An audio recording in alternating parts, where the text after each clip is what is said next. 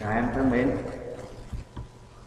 thực hiện theo sự chỉ đạo của phòng giáo dục đào tạo thành phố Huế, trường trung học cơ sở huyện thạch Kháng, tổ giáo dục thể chất, âm nhạc, nghệ thuật sẽ tiếp tục dạy trực tuyến với nội dung à, bài dạy thể dục lớp 8 tiết 34 tuần thứ hai bài thể dục chạy ngắn chạy bền giáo viên thực hiện. Thầy phạm văn thắng, thầy văn việt học duy hiền, cô lê thị kim ái, năm học 2021 2022 trước hết, thầy giới thiệu về mục tiêu của bài dạy năm nay. Thứ nhất, về kiến thức bài thể dục thì biết cách thực hiện các động tác bài thể dục từ nhịp 1 đến nhịp 17 chạy ngắn là biết cách thực hiện các động tác bộ trợ kỹ thuật. Cho môn chạy ngắn, gồm có chạy vượt nhỏ, chạy nâng câu đùi, chạy đập sau. Về chạy bền là biết cách chạy dứt dắt, tiếp sức. Kỹ năng thì bài thể dục là thực hiện cơ bản đúng các động tác bài thể dục từ nhịp 1 đến nhịp 17 về chạy cự ly ngắn là thực hiện cơ bản đúng các động tác bộ trợ kỹ thuật. Chạy nhanh là gồm có chạy vùng nhỏ, chạy nâng câu đuôi chạy đằng sau và trò chơi. Về chạy bền là thực hiện cơ bản đúng chạy dứt chắc tiếp sức và một số động tác hồi tình sau khi chạy. Bây giờ thầy sẽ vào tiến trình của bài dạy. Đầu tiên là về phần khởi động thì như à, các em tập ở tại trường thì à, khởi động chung là gồm có là khởi động các khớp trên cơ thể cổ cửa tay hông gối cổ chân và cổ tay. Sau đó các em thực hiện các động tác thể dục tay cao tay ngực gập thân bằng mình ép ngang ép dọc. Sau khi chúng ta khởi động chân xong thì chúng ta khởi động về chân ngôn, là gồm có chạy được nhỏ chạy nâng câu đuôi chạy gọt chạm mông và chạy đằng sau. Và trong cái khởi động chuyên môn này nếu mà các em có sân rồng thì chúng ta tập chạy di chuyển nhưng nếu không có sân bài chúng ta tập tại chỗ. Thì chúng ta chạy tại chỗ bước đầu chậm sau nhanh dần lên. Và cố gắng là chúng ta chạy trong khoảng thời gian tăng dần. Có thể là từ à, 30 giây đến 1 phút trong từng động tác. Và chúng ta có thể chia ra nhiều lần để chúng ta chạy. Sau khi mà chúng ta khởi động xong thì chúng ta vào nội dung cơ bản. Đó là chúng ta ôn lại bài thể dục từ nhịp 1 đến nhịp 8 thì uh, trên màn hình đây là bản minh họa. Và với cái nội dung này thì uh, đã tập vào tuần trước. Và những cái động tác này không có cho nên thầy yêu cầu các em phải luyện tập thường xuyên trong mỗi ngày để chúng ta có thể là nhớ từng động tác và thực hiện đúng cái yêu cầu của từng động tác một. Và để ôn những cái động tác này thì các em có thể thực hiện à, từ 3 đến 4 lần từ nhịp 1 đến nhịp 8 sau đó chúng ta nghỉ rồi chúng ta có thể thực hiện lại và các em phải nhớ là chúng ta tập luyện đúng để phương hướng và biên đồ của động tác. Yêu cầu các em phải tập luyện tích cực, nghiêm túc để tạo thành kỹ năng trong từng cái động tác một.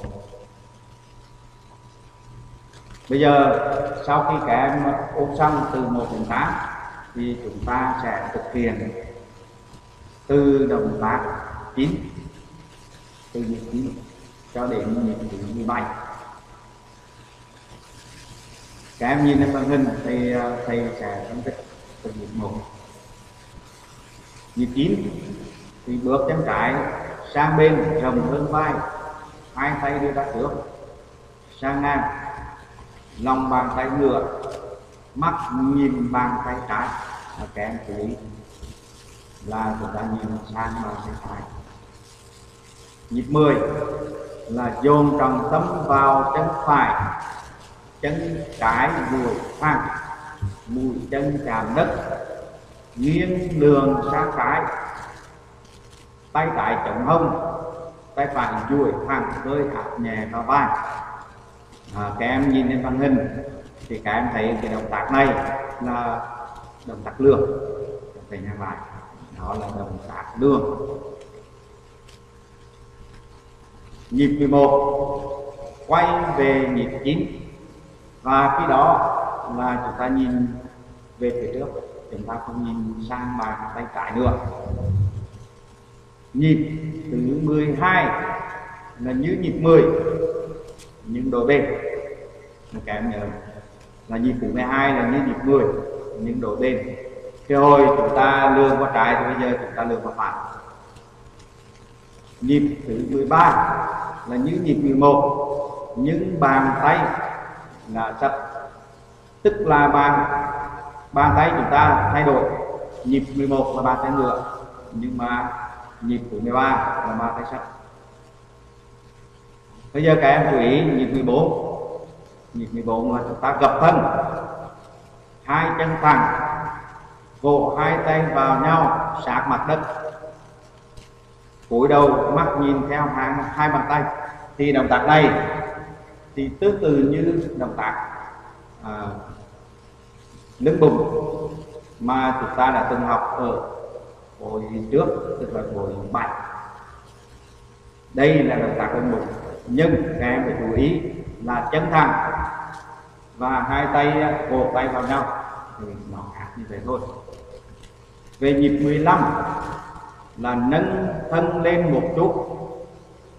Sau đó, gập thân bằng mình sang trái, tay phải chạm vào chân trái, tay trái duỗi thẳng lên cao, hai chân thẳng, cúi đầu, mắt nhìn vào bàn tay trái.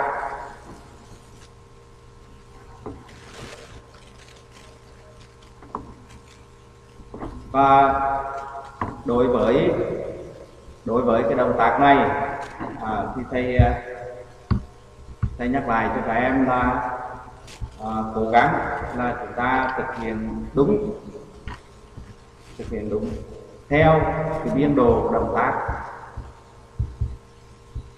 Và nhớ là từng nhịp tức là từng động tác. Cho nên à, là các em phải à, thực hiện là cho đúng theo hướng dẫn của thầy. Nhịp 15 là nâng thân lên một chút sau đó bằng mình sang trái tay phải chạm vào chân trái tay phải duỗi thẳng lên cao hai chân thẳng cúi đầu mắt nhìn theo bàn tay phải. Như vậy là ngược lại thôi. À, thì cái động tác này à, là thầy phân tích thì dài, nhưng mà các em nhìn theo trên cái hình ảnh hòa của cả đôi bên thôi. Nhịp 16 là nâng thân, sau đó gập thân.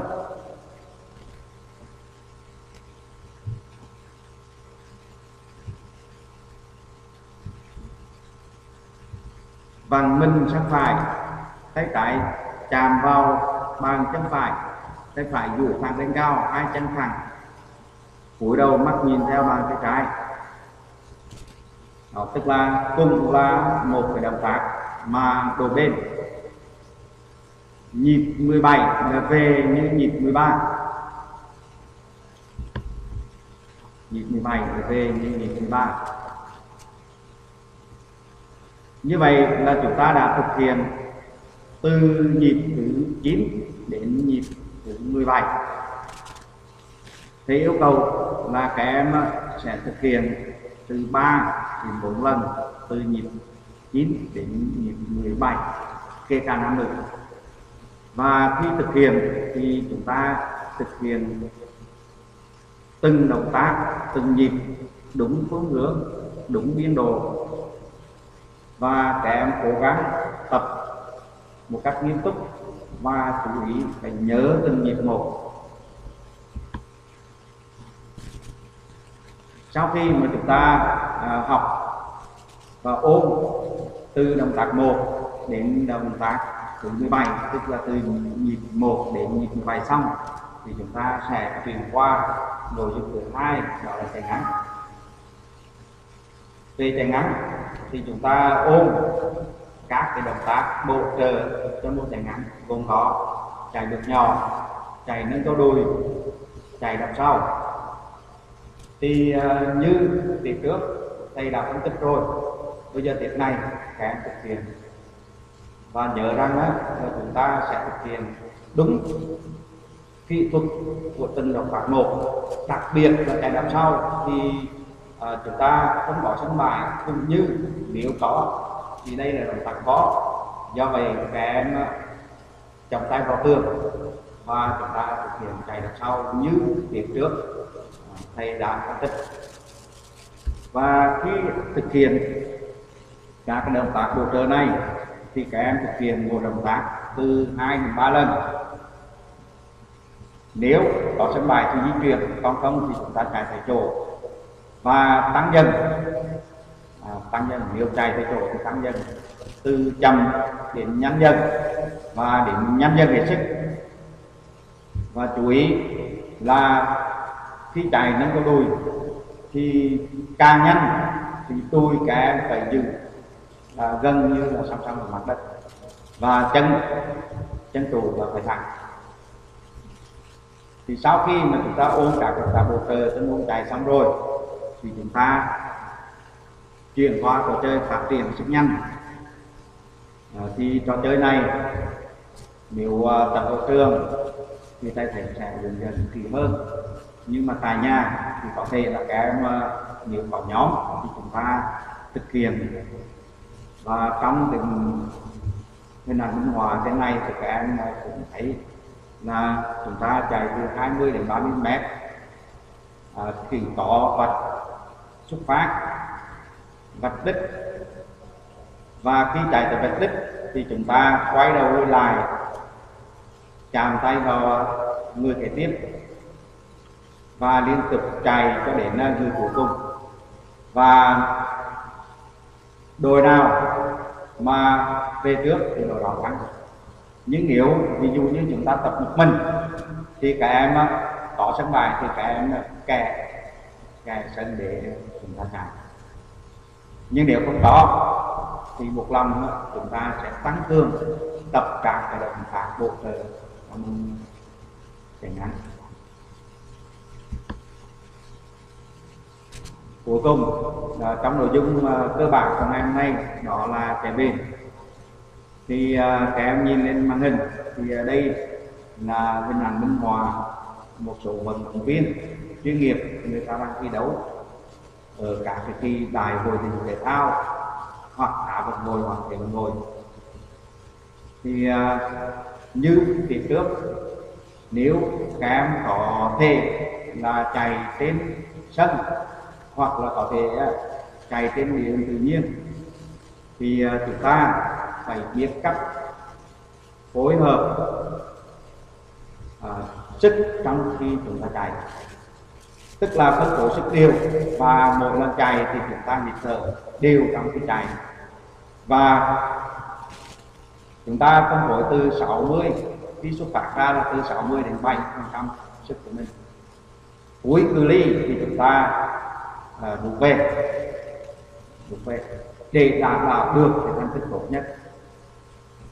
Và khi chúng ta chạy về thì tuyệt đối không được ngồi mà chúng ta à, phải đi hít thở nhẹ nhàng à, tay trụ chân thả lỏng để hồi phục sau khi chạy. À, và thầy à, cùng nhắc lại là cái việc mà hồi tịch này à, thì à, các em càng à, thực hiện nhiều thì các em có thể hồi tình sớm. Đó là cái nội dung cải bền ngày hôm nay. Về cái phần kết thúc của bài dạy thì à, cũng như tập ở tại trường và cũng như sau khi cải bền xong thì à, sau khi mà chúng ta thực hiện với sự khối lượng vận động lớn thì chúng ta phải à, là thả lỏng. Trong khi mà chúng ta thực hiện các động tác. Xong. À, về bài uh, tập ở nhà thì uh, các em cố gắng là chúng ta ôm từ nhịp 1 đến nhịp 17 và nhớ là tập nhiều lần và tập kỹ từng nhịp một để chúng ta có thể làm bài tập này một cách liên hoàn mà tập dục này. Và từng nhịp là cả phải nhớ để trở thành một kỹ năng ờ, sau khi chúng ta học cái bài thể dục ờ, này xong. Ờ, Đến cả buổi sáng thì các em cố gắng là chúng ta thực hiện các cái động tác bổ trợ chạy uh, bước nhỏ những câu đùi chạy có cảm mông ngày làm sau ừ. có thể à, là một động tác từ 3 đến 5 lần. Rồi các em có thể à, là phải bền trên cái tự nhiên. Và sau thì học bài này thì các em à, có thể đưa cái nội dung bài này uh, lên uh, trang web hoặc mạng để thầy có thể kiểm tra chào thân lại các em.